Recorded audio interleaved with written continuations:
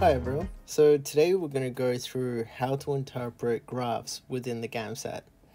Um, two of the big graphs that I see a lot of people struggle with and the ones that I know that I got quite confused on, especially in the beginning of my study, was these ternary graphs.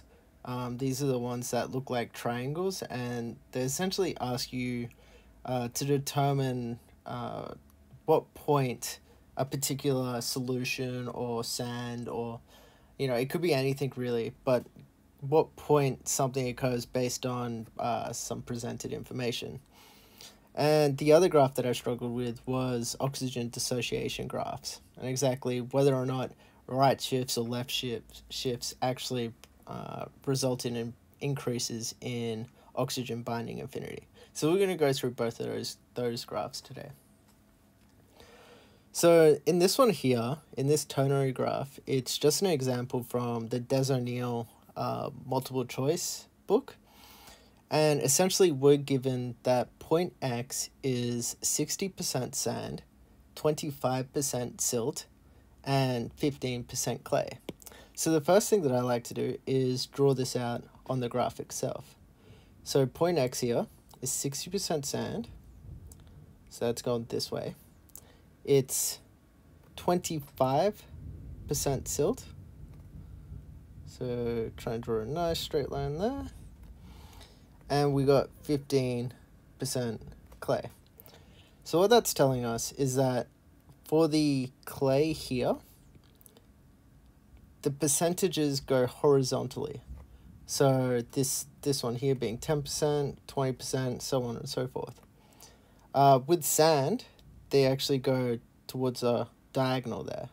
So they're going this way, starting from 0 here uh, all the way to 100. And then we got silt, and silt just does the opposite. So it goes diagonally downwards. So this part here being the uh, the 10%, 20%, 30% and so forth and so on. So I just like to draw that out initially just so I don't get confused. Um, because it's very, very easy to then, like, if you don't draw it out and you don't understand this from the very beginning, it's very easy to start making the mistake that, you know, for example, this is 80% because of the horizontal here, here. But we know that the silt is actually this, this part there. So just an example, if I were to ask you what point A is, how would you go about doing that? Um, I'd recommend just pause the video here and see if you can do this yourself. Uh, but if not, we'll get straight into it. So, as I said earlier, it's best to draw out where the lines are going. So for the sand, this way. For the clay, it's going horizontally. And for the silt, it's going the downwards diagonal. So for point A, if we want to find the percentage of sand, it would be going upwards in that, that diagonal there. So we could say that's 30% sand. Um, we can also see on the graph that with respect to clay, it is 10% clay. And then lastly, um, if we look at the silt, it's on, oops, apologies, iPad errors. uh, if we look at the silt, it's roughly 60% silt. Uh, God, could have stopped doing that. Silt. So silt is 60% silt, and that equals 100%. So that's something that uh, we can also do to double check that we're right. Um, because all these areas should add up to 100%. So with point X, uh, if we add up the percent clay, silt, and sand, that'll add up to 100%. And with point A, all these you know, 30 plus 10 plus 60, that also adds up to 100%. So that's a way we can double check that what we got is actually right. So for another example, what would be the percentages of point B? Uh, if you want to do this yourself, again, just pause the video. If not, we'll get straight into it. So for point B, if we look at the sand and we follow it up here, we're looking at about 30% sand. if we look at clay, and again, clay is at the horizontal there, it's 50% clay.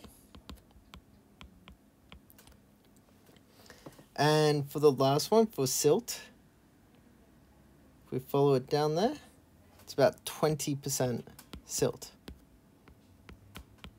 And we can double check our answer again just by adding all these up. So 30, 50, 20, that equals 100%. So again, that just confirms that we got the right values for point B, or at least just reassures us that we got the right values. So just moving on to oxygen dissociation curves. I know this was something that I got quite confused about, uh, especially in the beginning of my GAMSAT study. And I think it's incredibly important to understand because it, it does occur quite frequently in the GAMSAT. You know, it's not only testing how well an applicant can understand data and read a graph, but it's also testing their biology theory. So with the black curve here, we just got a standard oxygen dissociation curve. Um, with increases in the partial pressure of oxygen, we see that there's a corresponding increase in the oxygen saturation of hemoglobin. So in the exam, you might be told that with the onset of exercise, there's an accumulation of hydrogen which results in a decrease in pH. And it might ask you what the what what sort of shift would we expect in the oxygen dissociation curve. So the first thing we'd have to realize is that um, with exercise, usually there's an increase in metabolism. The muscles require more oxygen so they can um, produce ATP to allow that muscle to contract. So we would expect that uh, the red blood cells would be releasing more oxygen. So if we look at our graph here, uh, for a right shift, right, it's saying that for any given partial pressure of oxygen, so let's take this point for example, for the for a right shift here, if we look at a partial pressure of this, there is a decrease in the O2 sat. So the red cells have released more oxygen. If there was a left shift, it would say that at this partial pressure, these red cells are retaining their oxygen. So with exercise and with an increased metabolism and an increase in metabolic demand, we would expect that the red cells for any given partial pressure would have less oxygen. And this essentially allows the, the release of oxygen to tissues that have a high metabolic demand. So I think the biggest tips for interpreting graphs within the GAMSAT is always read the axes and the title of the graph first. I think this is something that's incredibly overlooked and usually always skipped. You know, people are always so excited and so ready to try and interpret the data within the graph. Um, but I think it's really important to understand what that graph is trying to show us first and we can do this by not only reading the title, but also the axes. And if you understand what the axes are showing and uh, how the correlation works there, um, you'll just get a better understanding of that graph as a whole. Um, it's also important to read the units of the axes. So sometimes they'll have um, like percentages or milligrams or time. Um, I know there was one question in, I think it's the practice exam where they're, they're talking about the queen bee and it's like mils of oxygen per milligram per hour. And you had to use that in the calculation of your subsequent questions. And I think if you don't read the units, you can get really lost there. So read the axes, read the title, and then read the units. These are really, really important. And only then after should you start to interpret the data and draw conclusions there. Um, so if you guys have any questions about graphs or if you even have a graph that you're unsure about, uh, please feel free to message me or comment down below and I'll be more than happy to try and explain through some of the graphs that you're confused with. Um, as always, if you have found any value from this video, uh, please like, comment, and subscribe.